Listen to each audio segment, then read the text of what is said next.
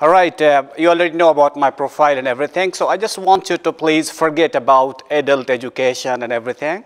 And my topic is a bit different because I want you to be happy and uh, think about something to have some social welfare or social responsibility rather than being busy all the time. I know we all professors academicians, we're busy and everything. Anyway, today I'm going to talk about uh, the uh, social welfare plus I will add the education and then I will come up with the formula of happiness. Uh, we all, uh, the people, all the time we make a struggle actually to go for happiness. You know, God has created this world. When he was happy, he created world. He was happy, he created very wise prophets around. When we are happy, we try to add something in our life. When you want to see your family happy, why you want to see your family happy? You want to get a good job, why you want to get good job? Because you go for happiness. All of the time, around the world, people are looking for their happiness. They keep struggling.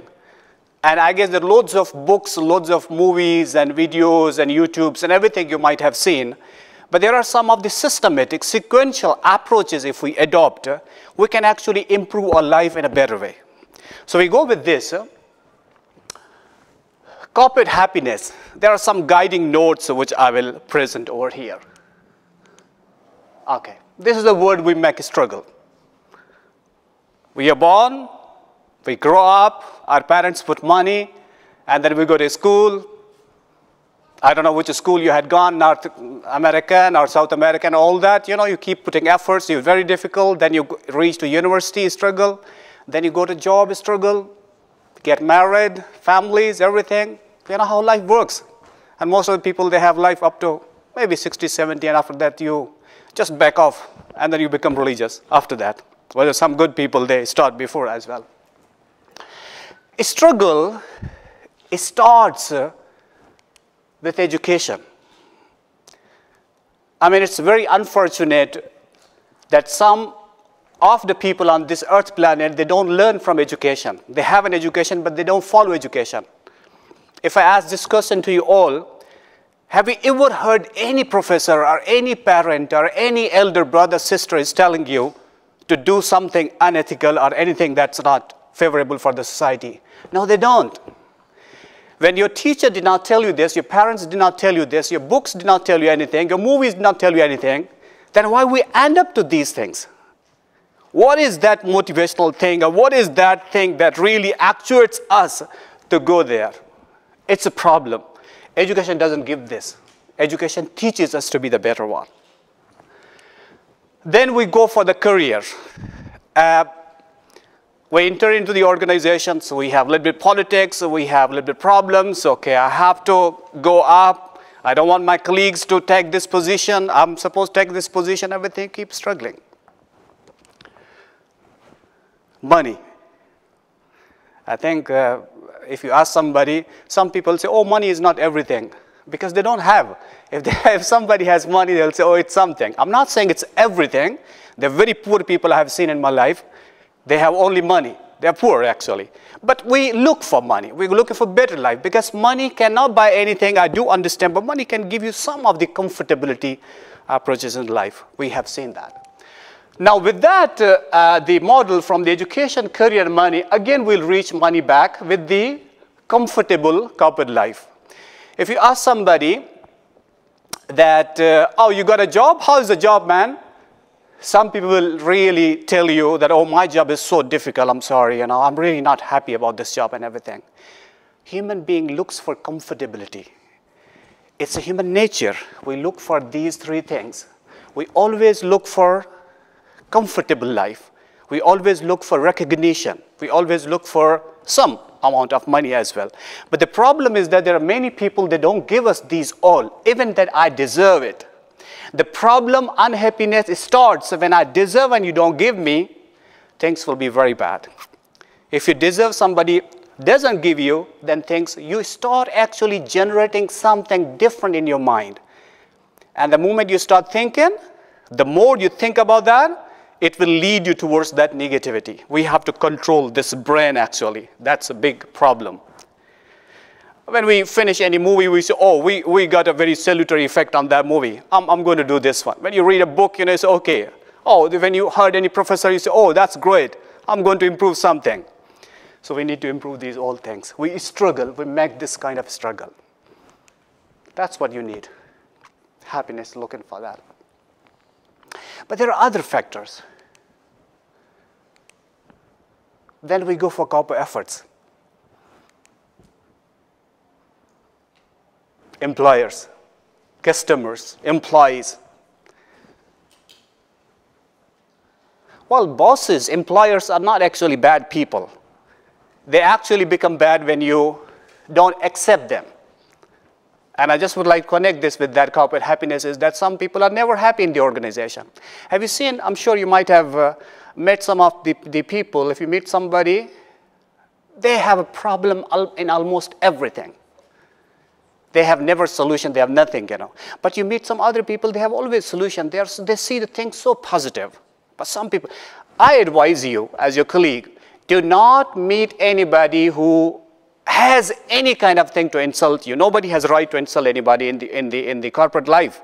But some people do that. And that demotivation comes, you become unhappy, you leave the organization, the employer gets a problem. Customers, I'm sure there's no need to talk about that because they are the ones that they are running our companies actually. People say they are our customers, but they're actually they are your partners. Anyway, look at the second one, the positive education, motivation, guidance, and mentoring some of the very good bosses, uh, they mentor you too much about this. And then once you get mentoring from some of the positive people, you start getting that happiness, getting that positivity, that intention. When he retires, you take over his position, you continue the same. But if you see some of the negative people around you who are really spoil your career, when you become the, he, uh, taking his position and you doing the same thing, things will not work. I worked in one of the Italian company long time ago, I saw one boss when he was retiring. He prepared one document uh, that he was retiring, and then uh, he, the next person will come. So he prepared one document and he kept on the table. So we were close to him, so he called me that he prepared this document for the next person when he'll come and he will see this one. I just asked him, sir, could you please tell me what is this document you have prepared this one? He prepared that document about that this company was this one, these are the pro, uh, positive people, this is a thing, if you need anything from me, I will always be there. I have taken everything from this company. I got every, almost everything, my life, my family, everything. We earn bread and butter from this company. So I want you to please take care of this company. So he put a note over there, the smiling one. When he had gone, another person came, he saw that. He called that person. He said that I have never seen any person who's leaving and he put the note like this that you have to carry on, that you want to contribute the same thing. But we have seen some people when they leave, they're so happy. Oh, I'm leaving this company. Nobody will be able to continue because I messed up this one. Isn't that? Some of uh, the experience happen. This is what you instill, you keep it, you accept it, and it will go further for your life. It always happens. That's why we talk about this guiding uh, and the mentoring thing always come. Then exposure, maturity, prudence. I love the word prudence. I'm sure uh, he was talking about, professor talking about adult education. He is from English uh, domain. Prudence is something that you do extra and then you don't take credit as well. That's okay.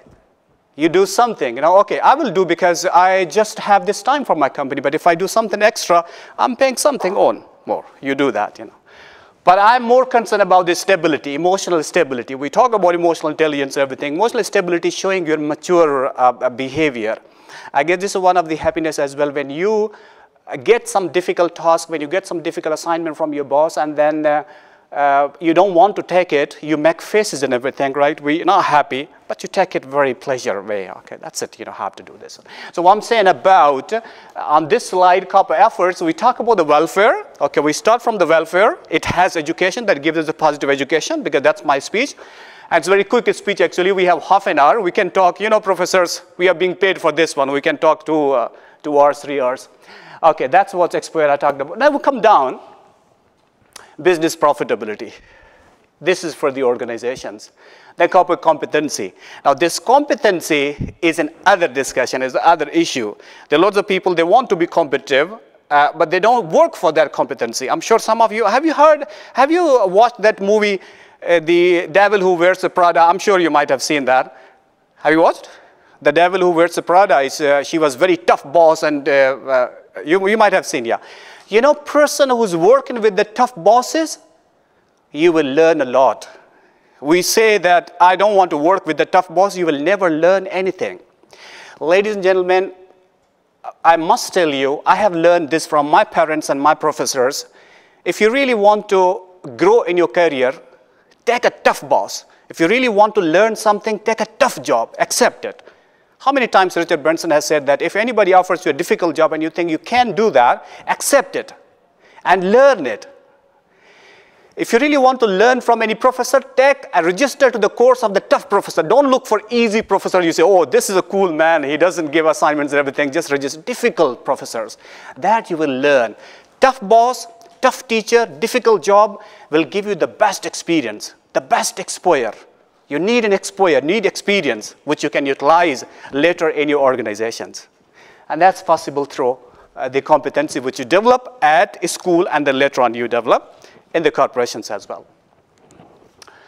People, aptitude and attitude. This is very simple, you know, I don't want to talk about this English uh, context of this one, but actually in the corporate level, when you talk about the aptitude, there are many people, they have great skilled people, great competency, but if their attitude is not good, trust me, it's really they are not competent for me, you know. But if somebody who's great skills, and he has a great attitude to respond to anybody, even a little kid or middle hierarchy person, top hierarchy, so cool. He's the best ever person you can meet in your life. How many of you remember the best professors in your life? You always remember people because of their communication skills because of they help you at that time. You also remember those who had a bad communication with us. I, I do remember, but you always remember those are bad, uh, the best communication because they gave you something, and you always uh, fix that in your mind. So I'm saying here about the COP efforts. I started from the welfare, and then the positive education exposure. If we come down, of course, uh, that is uh, the uh, business profitability for the organizations, but actually we need to contribute something to the organization. I always uh, discuss with my colleagues about this one. In professionalism, there's no excuse.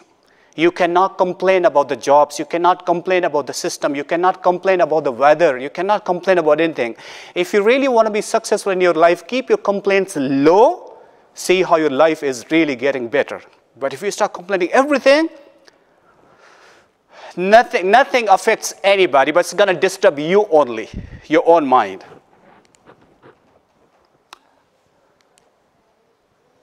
Now, there are some hurdles in our life. Problem. You know what's the definition of problem? Problem means the unfavorable situation. You know Ben Hogan? My dad's favorite golf player, Ben Hogan. You might know about the Bruce Lee, I'm sure. You know Bill Gates at least, yeah? You know these three people, three, four people, what, is the, what was the commonality in these all people? They used to list down the problems. Problem number one, do I have the marker here? Okay. Problem number one, problem number two, problem number three. Then they were actually looking at that problem number one. Can I solve this problem? Can I do something about this? Oh, yes, I can do something about this. So it's no more problem. I'm left with only two. Look at the way how the successful people look at the problems. Let's suppose you're not an MBA, you're not PhD, you're not doctoral program something, you know, you're not. But you took admission now. It was your problem, you're not doctor, but you took admission. It's no more problem because you're already working on that, isn't that?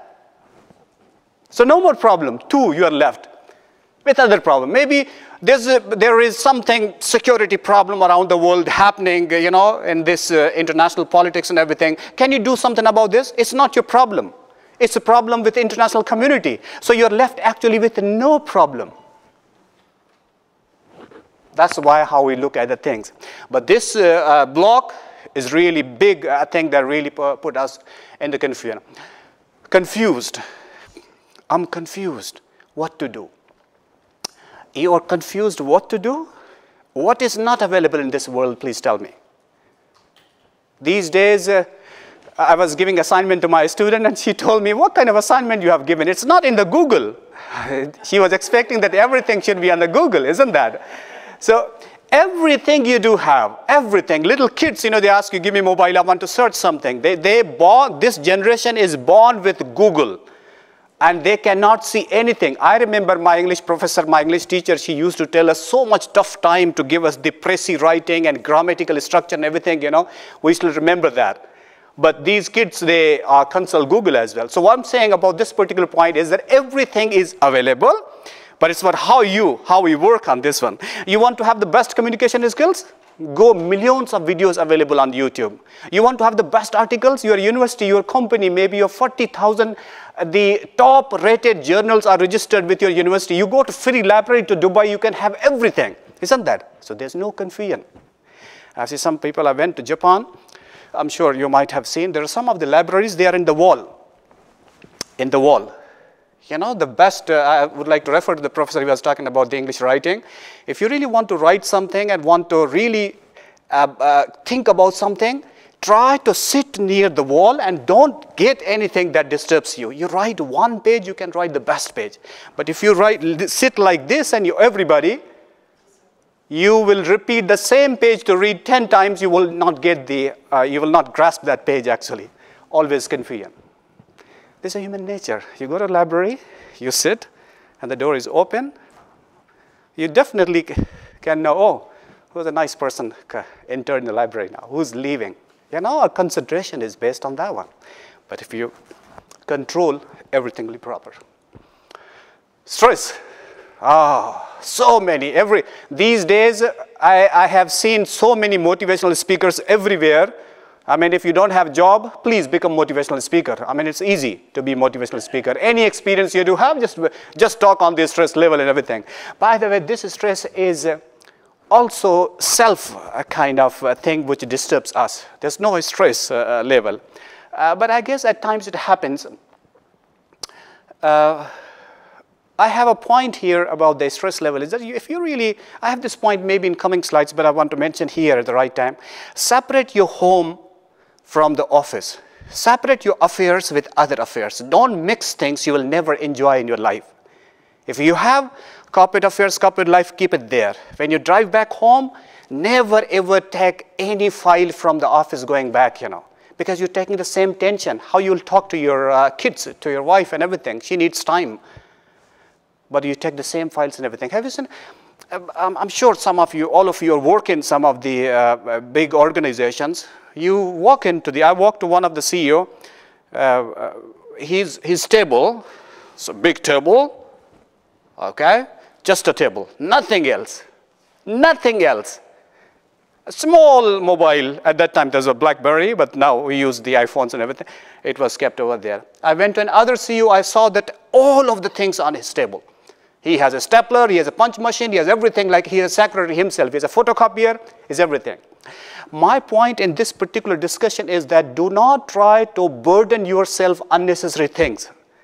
Because if, if you, for example, you know where you have put your file, you know where you have put your file, you can easily refer it. How many times it happens you browse a file which you're looking for from your own computer and we put search option in my own computer. It means I'm not organized. Just organize with the dates and everything with the file, and then you can find easily. Isn't that? So, ladies and gentlemen, this is the third point about the stress level. And the fourth one is, oh, no problem in the fourth one. Is it okay? See, problem's gone maybe.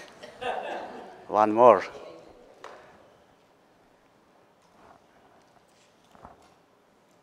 Yeah, it's okay. Sorry for technical incompatibility. Yeah, oh, see? See the point and see the delay time in this point, fear. That's how much relevant, how much nature helps you in the similar examples. Fear multiply faster than, uh, than rabbits. You know, in the night when you walk, I'm sorry, I'm trying to be philosopher with you because it's a good day. So that's why I told you be happy, have a good day. So when you in the night you walk, you feel somebody is behind you, but actually nobody is behind you. It's you. You invite unnecessary stuff to disturb you actually. Nobody is there. You get an interview call, you have a paper, you get an interview call, just interview call. And then you start thinking, inshallah, tomorrow I'll go and then I will have job, I'll have this, this, this. I don't know, from interview you jump to the other, na other nature, I don't know what you do. So it's a human nature, I'm not talking about you, but actually a nature-wise, we try to be all the time, try to see all things favorable, uh, which sometimes disturbs us. Anyway, you have this, these all four. For example, if you do have, I have an advice for you. Put them in, the, in one bag when you go back home today. Uh, don't throw this bag, the conference bag, please. When you go back home, try to find a very old bag, which you're supposed to just throw. Put these all, four, five, or any other problem you do have. Wallahu lazim, just throw that.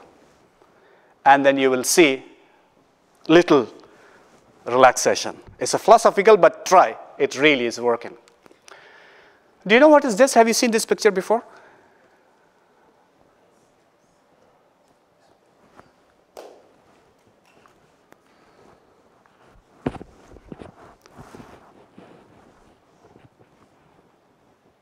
This is whole universe.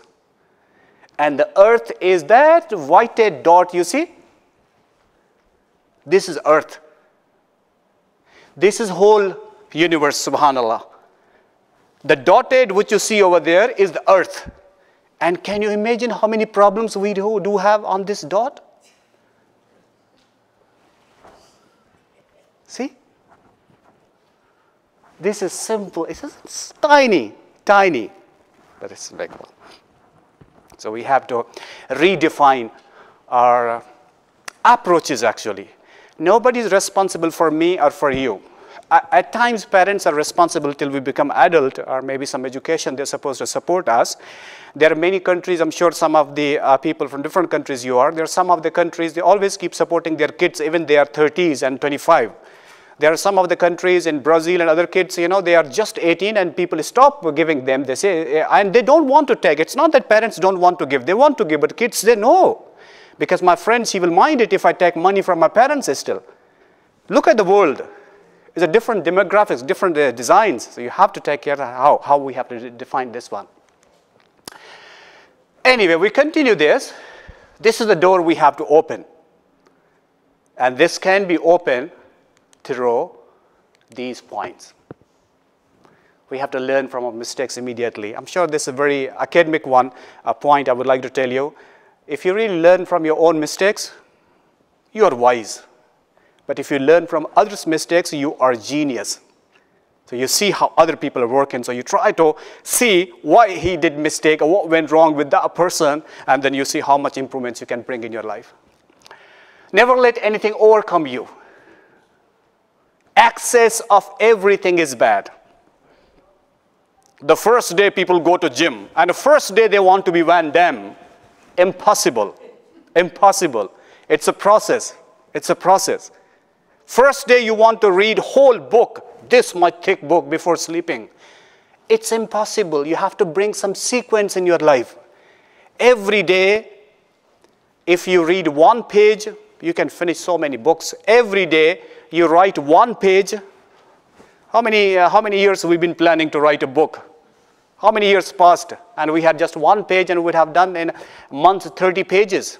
How many pages we can finish? It's just approach how we do that. Pick a difficult boss, I told you, you will have wonderful exposure. And accept challenging job, the best experience. And register the course of the tough teacher, this I mentioned about this one, just for guideline, so that you will learn a lot about this. These are other initiatives which we have to work on them as well every day is a good day. So it was the first presentation was about academic things, very good uh, uh, points uh, which professor has mentioned. So I thought I should change your mind to have a good day rather than keep corporate confusion for you. So you can have a great day since you are in Dubai. Enjoy Dubai. How many of you first time in Dubai? Oh man, you must enjoy Dubai. Don't, if you have flights tomorrow, day after tomorrow, cancel that very best attractions we do have over here. And this is the right time because still the weather is nice. But if, you, if the weather is getting hot afterwards, you won't be able to go outside. We have this experience. I've been here now 13 years. I keep coming and going. But I must tell you that this uh, uh, Dubai, and I invite you again, please, to come in October next year, the, I mean, this year uh, with the Expo 2020 and you will see the wonders. There are millions of people are coming around the world, inshallah, and you see how this Dubai will be changing. You see the wonders, what's going to happen. And there's, a, there's a, the site as well. Physically, you can see the expo site. There's some fees as well. Try this before you fly back. Anyway, have fun in your career. Have a sense of ownership at your company. This term I have learned from Japanese, and uh, I always refer to my class. Anybody Japanese over here? I'm sorry, okay. Uh, okay. This, the, if you ask the, from any Japanese employee, Japanese companies employee, they will never uh, tell you that I'm working in Toyota. I'm working in Hyundai something. He will always tell you, I am Hyundai. I am a Toyota actually. I am. They, they show the sense of ownership with that, you know, uh, which I learned this. Okay, separate home, this I told you, find some time for your health. Please. Astaghfirullah, if, if something happens to you today and you think you are the best skilled worker, if something happens to you today, tomorrow somebody will else come to replace you to your job. So do not be serious about your corporations driving to reach the corporation. So you're putting your risk at, at your life and you're not attending the uh, call of your sweetheart, of your husband or wife, and because you are in the office and everything. No, sometimes you give them. It's okay. Take it easy. Don't be serious too much about this one. This really happens. You know, don't uh, take the things which really affect you all the time. So this is really good. Good food, good walk. I don't have time to walk. No, you have to. You have to. This again, I put this. Now I still I have little time. I just uh, little interactive because we will not have much time after the uh, session is over. On a coffee, maybe we can discuss. I just ask you two questions, please. And you have to answer whatever uh, the things you do have. You just join an organization. What you want to do?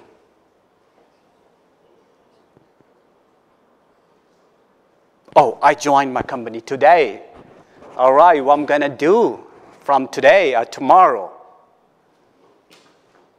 Get acquainted with the people. Yeah.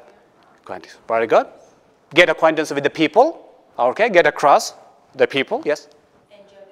Enjoy the work. Enjoy the work. Enjoy the work.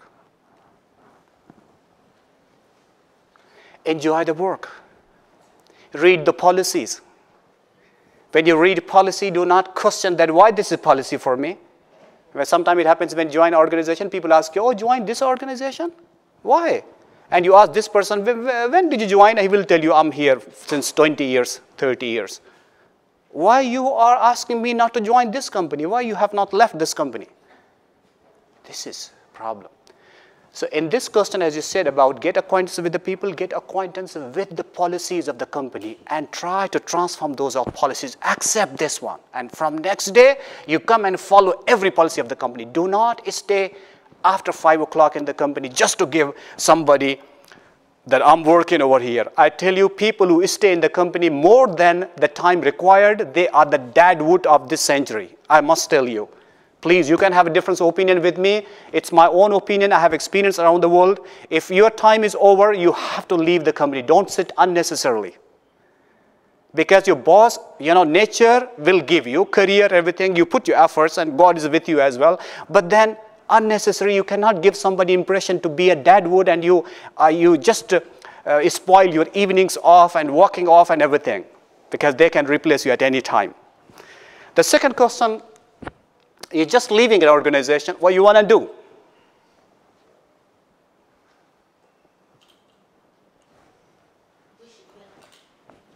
I'm sorry? Wish them well. This is a great point. Wish them well. Uh, ladies and gentlemen, I have this point over here once again that whenever you leave an organization or you have planned to leave an organization, do not tell anybody. And whenever you leave, especially with human resource department, hi, how are you, department. HR department is actually not the friend of anybody in the world. And sometimes I believe that HR department is the only department that will go to heaven or hell. I'm not sure, you know. Sometimes Sometimes they create a lot of problem. They are so best friend. And after that, when you resign, you'll be sitting outside. They will not recognize you even. So I advise you, ladies and gentlemen, is that, that whenever you're working in a company, you have to have best communication with HR department, complete your responsibilities, policies and everything. You just go with so polite way, as she said, wish them good, and then you walk away. That's it. This world is so small. If you fight with one organization, you go to another organization, people come to know where are you working, they can call. So you go positively. This will help us. Whenever you leave an organization, you always leave with the best point. And don't let people know. You know, there are two rules in this world. Only two rules. Rule number one do not tell everything you know. Rule number one do not tell everything you know. Rule number second go to rule number one. There's second, we don't know. Nobody knows what's going to happen. So keep some of the things in your mind. This, I just put this because uh, some of you are new in Dubai. These three uh, things always give you happiness. When you are in difficult time to search somebody, even if your exam and you are exposed to mobile, you can find Google and solve the problems. Even you're having online tests, when other computers open to you, it can help you. Or when you Google Maps and other, uh, the many facilities you do have. But Dubai, I always say, uh, dreams to come true. Lots of people. Still, Dubai is growing. So please check it out. Switzerland is one of the other destinations for your uh, holidays and everything. You must go and you will enjoy that. This is me. I have the LinkedIn profile. The same name you can browse. You can uh, invite me. I can join your, uh, uh, your LinkedIn profile as well. I have the YouTube channel. I started uh, the YouTube channel for writing some of the things and uh, giving lectures and also some of the uh, points which are happening daily. So you can browse my YouTube channel as well. It's a really great honor and pleasure talking to you, ladies and gentlemen, this morning. Thank you very much, everybody. Thank you. If you have any question, anything, or if you have any problem you can share, we'll try to solve that with happiness. See? MashaAllah, no problem. That's great. Thank you, ladies and gentlemen. Thank you.